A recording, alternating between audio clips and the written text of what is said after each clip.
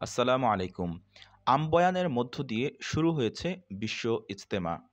টঙ্গীর তুরাক তীরে আমবয়ানের মধ্য দিয়ে শুরু হয়েছে আলমী সুরার, মাওলানা জুবায়েরপন্থী বিশ্ব ইজতেমার প্রথম পর্ব। শুক্রবার বাদ ফজর পাকিস্তানের মাওলানা জিয়াউল হকের বয়ানের মধ্য দিয়ে অনুষ্ঠানিক আনুষ্ঠানিক ইজতেমা শুরু হয়।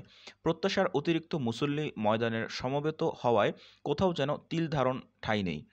যেদিকে চোখ যায় শুধু টুপি, পাঞ্জাবি পরা মানুষ আর মানুষ। আজ ময়দানে সর্বকালের সর্ববৃহৎ জুমার জামাত অনুষ্ঠিত হবে বলে ইজতেমা আয়োজক কমিটির প্রত্যাশা। দুপুর একটায় আজান হবে আর জুমার জামাত হবে দেড়টায়। জুমার জামাতের ইমামতি করবেন কাকরাইল জামে মসজিদের পেশ ইমাম হাফেজ মাওলানা জুবায়ের আহমেদ। বিষয়টি নিশ্চিত করেছেন বিশ্ব ইজতেমার গণমাধ্যম সমন্বয়কারী মুফতি জহির ইবনে মুসলিম। ইজতেমা ময়দানে আম বয়ান মূলত উর্দু ভাষায় করা হয়ে থাকে।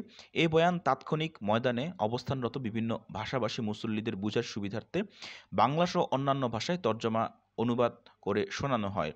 আজ যারা বয়ান করছেন বা ফজর আম বয়ান করেন, পাকিস্তানের মাওলানা জিয়াউল হক সকাল নয়টার দিকে স্কুল, কলেজ, মাদ্রাসা ও বিশ্ববিদ্যালয় শিক্ষকদের উদ্দেশ্যে খুসুসি বয়ান করেন ডক্টর সানাউল্লাহ হাসমত আলী, আনিসুর রহমান সমবেত বিভিন্ন স্কুল, কলেজ, মাদ্রাসা ও বিশ্ববিদ্যালয়ের ছাত্রদের উদ্দেশ্যে বয়ান করেন মাওলানা ডক্টর নওশাদ মুফতি মাহফুজ ও মাওলানা আকবর শরীফ।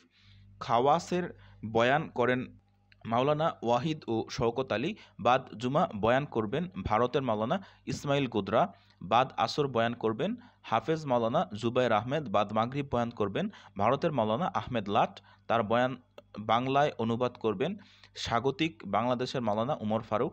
প্রসঙ্গত, আগামী রোববার আখিরি মুনাজাতের মধ্য দিয়ে প্রথম পর্বের মাওলানা জুবায়েরপন্থী বিশ্ব ইস্তেমার সমাপ্তি ঘটবে।